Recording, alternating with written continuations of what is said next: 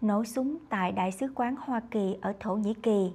Súng được bắn từ một chiếc xe đang di chuyển đến Đại sứ quán Hoa Kỳ thuộc thủ đô Ankara, Thổ Nhĩ Kỳ vào đầu ngày thứ hai lúc 5 giờ 30 sáng. Không ai bị thương trong cuộc tấn công. Hiện cảnh sát đang truy tìm chiếc xe liên quan.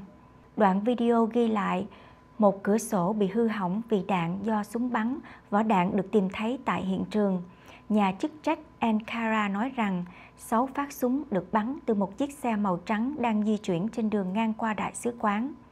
Ba phát súng bắn trúng một cánh cửa thép bảo vệ và một cửa sổ. Quan hệ giữa Washington và Thổ Nhĩ Kỳ trở nên căng thẳng sau khi một mục sư người Mỹ Andrew Brunson bị bỏ tù vì bị cáo buộc đã tham gia đảo chính quân sự vào năm 2016 tại Thổ Nhĩ Kỳ.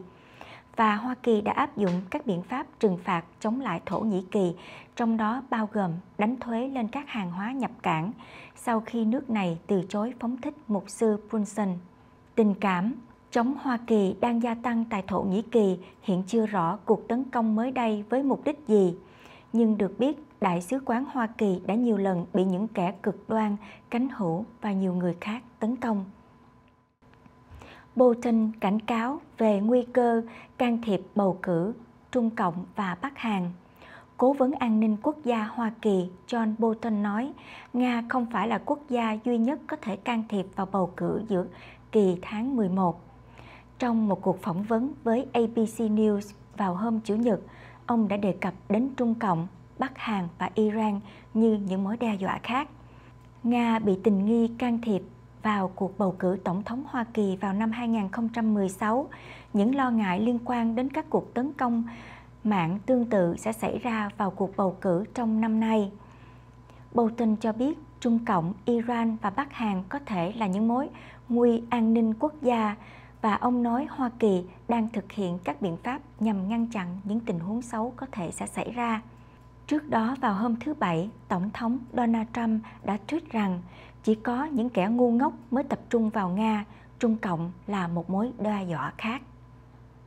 Bolton bình luận về phi hạt nhân hóa Bắc Hàn. Cố vấn an ninh quốc gia Tòa Bạch Ốc John Bolton nói rằng lãnh đạo Bắc Hàn Kim Jong-un cho biết hồi tháng 4 sẽ phi hạt nhân hóa Bắc Hàn trong vòng một năm. Tại một cuộc phỏng vấn với ABC News vào hôm Chủ nhật, Bolton đã đề cập đến kết quả hội nghị thượng đỉnh vào tháng 4 giữa Kim Jong-un và Tổng thống Nam Hàn Moon Jae-in. Ông cho biết Tổng thống Moon đã báo cáo các kết quả đạt được cho viên chức Hoa Kỳ.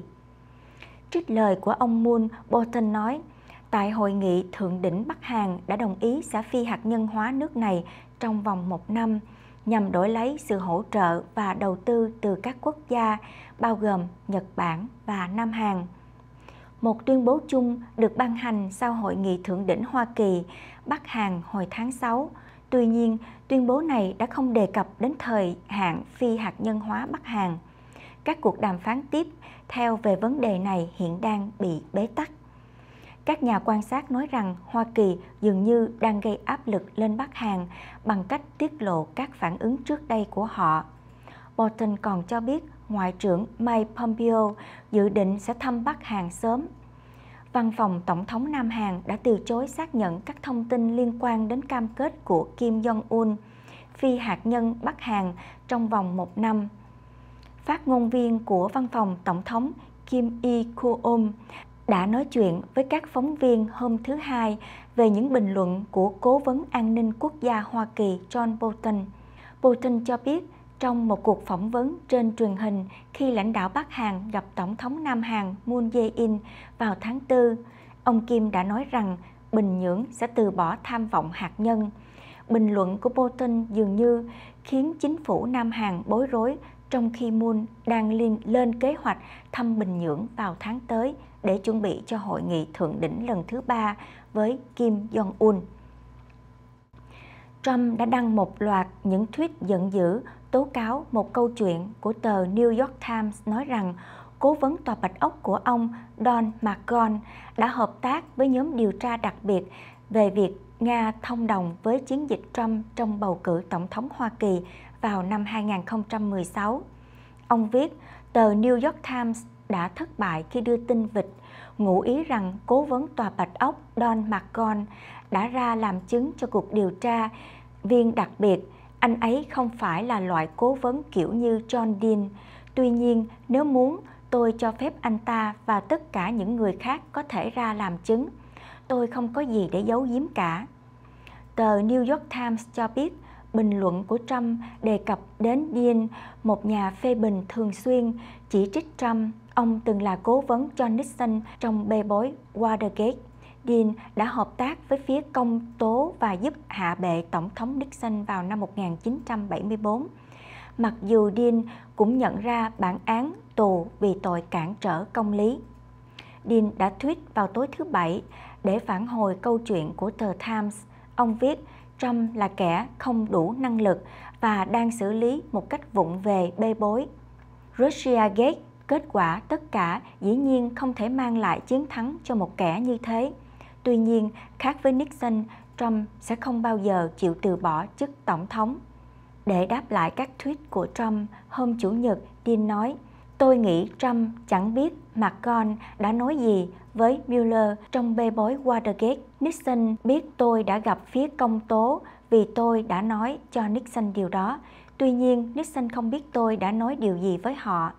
Nhóm các luật sư riêng đầu tiên của Trump đã khuyến khích McConnell và các viên chức tòa Bạch Ốc hợp tác với điều tra viên, đặc biệt Robert Mueller và McConnell đã dành từng giờ cho các cuộc phỏng vấn.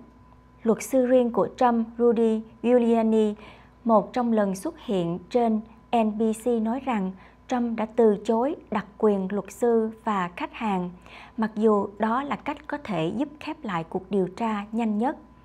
Tổng thống đã khuyến khích McGon ra làm chứng và ông ấy đã làm thế, may mắn không có gì bất lợi cho Tổng thống. Và luật sư của McGon William Brooke đã nói rằng Tổng thống thông qua luật sư đã từ chối các đặc quyền giữa ông và McGon. Do vậy, khi nhóm điều tra đặc biệt phỏng vấn, McGon có quyền trả lời các câu hỏi của họ nhanh chóng như những người bình thường khác. Và vào hôm Chủ nhật, Trump tiếp tục chống lại cuộc điều tra của Mueller bằng cách quy chụp gọi đó là cuộc săn lùng phù thủy. Ông viết, chúng ta nên nghiên cứu về trường hợp của Joseph McCarthy vì chúng ta đang ở một giai đoạn tương tự. Cuộc điều tra của Mueller và nhóm của ông ta cũng giống như cuộc săn lùng phù thủy của Joseph McCarthy trước đây. Trong một cuộc điều tra, Giuliani cũng thừa nhận cuộc họp tại Trump Tower vào tháng 6 năm 2018 giữa các phụ tá chiến dịch Trump và một luật sư Nga được con trai Trump, Donald Trump Jr. sắp đặt nhằm tìm kiếm thông tin bôi nhọ đối thủ phe dân chủ của Trump, ứng viên Hillary Clinton. Ban đầu cuộc họp nhằm tìm kiếm những thông tin, thông tin về Clinton, nhóm Trump cho biết rằng Natalia là người Nga mặc dù các email sau này được Trump Jr. tiết lộ cho thấy bà này được mô tả là một luật sư của chính phủ Nga. Giuliani nói rằng sẽ chẳng có kết quả nào dù cho Trump có chịu ngồi xuống thỏa thuận với Mueller vì cuộc điều tra chỉ dựa trên những hồi ức của nhân chứng. Tổng thống Đài Loan đến thăm NASA, Tổng thống Đài Loan Thái Anh Văn đã đến thăm cơ quan không gian Hoa Kỳ tại Texas và trở thành lãnh đạo đầu tiên của Đài Loan đến thăm một cơ sở của người Mỹ tại Hoa Kỳ. Bà Thái đã dừng chân tại Houston sau khi kết thúc chuyến công du đến Mỹ Latin. Bà đã thăm trung tâm không gian Johnson của NASA vào hôm Chủ nhật. Bà được giới thiệu về các cơ sở đào tạo cho các phi hành gia tại đây. Phương tiện truyền thông Đài Loan đưa tin một chương mới đã mở ra trong quan hệ Đài Loan và Hoa Kỳ.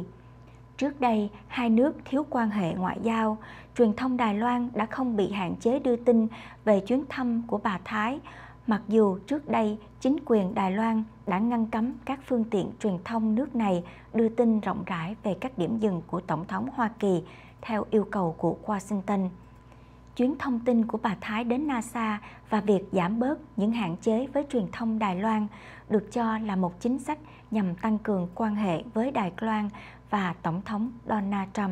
Trump đã ký thông qua đạo luật du lịch Đài Loan vào hồi tháng 3 nhằm khuyến khích các chuyến thăm song phương giữa các viên chức cao cấp của hai nước. Trung Cộng đã nổi giận khi Tổng thống Đài Loan bác bỏ nguyên tắc một Trung Cộng – chuyến thăm của bà Thái có khả năng khiến Bắc Kinh càng thêm giận dữ.